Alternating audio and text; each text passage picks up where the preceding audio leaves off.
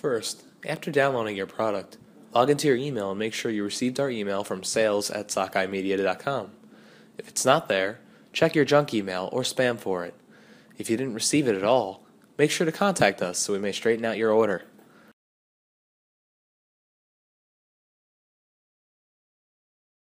Next, when the email is open, copy the link we've provided and paste it into your address bar. Once you've reached the MotherGooseClub.com website, put your email into the box provided to see a list of the products you've purchased.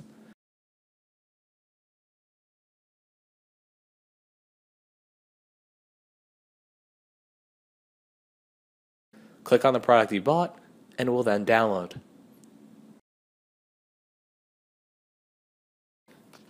Now, go to your desktop and click on the Windows button located in the lower left corner of your screen.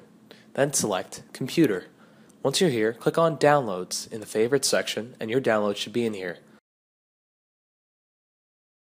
Unzip the video file from the zipped format.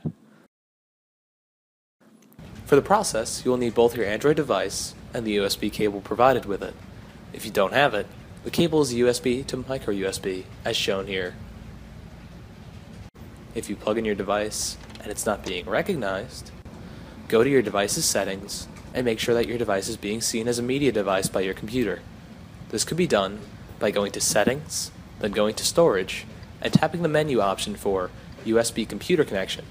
Once here, select MTP. Once you have your device connected, the autoplay window should show up. Click on Open Device to view files. From here, click on Internal Storage, then to Movies.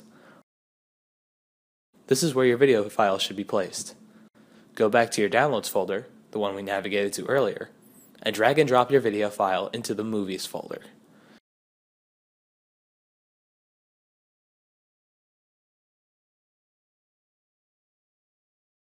Once the file is finished transferring, close out all windows and unplug your device.